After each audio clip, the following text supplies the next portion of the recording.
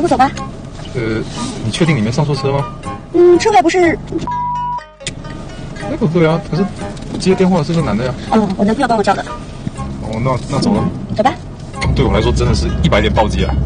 本以为结缘成功，天降妹子，没想到名花有主。结缘？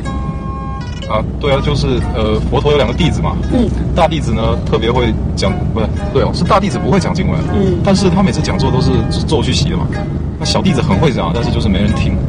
然后小弟子就问佛陀，佛陀就让他每天起来去喂鸽子。当他喂到两千只的时候，他发现自己讲座也是咒语去习啊。这个就是佛教中所谓的结缘。其实他来听他讲座的人呢，就是他前世就是他喂养的鸽子，就像我平时经常载到漂亮妹子，这也是我结的缘。呵呵，你们男生哈，就是下半身思考的动物啊，见一个撩一个。那个不介意我放个歌吗？放吧。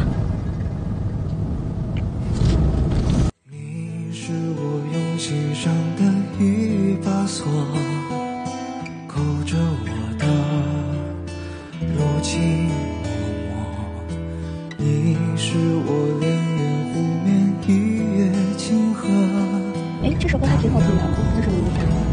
一纸情书》。嗯，觉得怎么样？听完什么感觉？就是这个世界上根本不可能存在这样子的爱情，所以就是听听就好了。是啊，喜欢一首歌，并不是因为它这首歌好听，而是因为它的歌词写出了自己的想法。给我冒昧的猜一下，你是不是在生你男朋友的气啊？没有。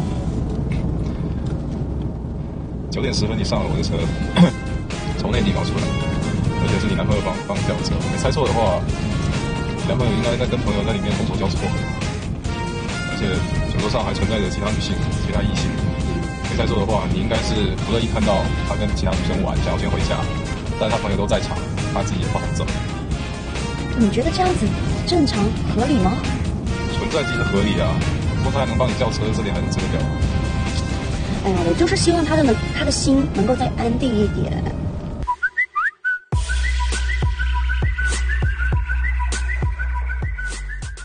近看了一个佛教的故事，跟你分享一下呗。好。啊嗯，阿难是佛陀的十大弟子之一，佛陀三十二相，阿难三十相。嗯。然后阿难在一次出去化缘的过程中遇到了摩登伽女，摩登伽女对他一见一见钟情，茶不思。为了得到阿难，他不惜。让母亲用那个邪术去迷惑他，失败之后呢，摩登伽女依旧是不放弃，每天就守在寺庙门外。嗯那个阿难外出托钵，摩登伽女就傻傻的就跟在后面，然后吓得阿难都不敢出门了。然后摩登伽女就依旧守在门外，一天一日不见阿难，摩登伽女就无所适从，大哭而归。阿难就不知所措啊，他便去问佛佛陀，你猜佛陀是告诉他什么？是吗？他说什么？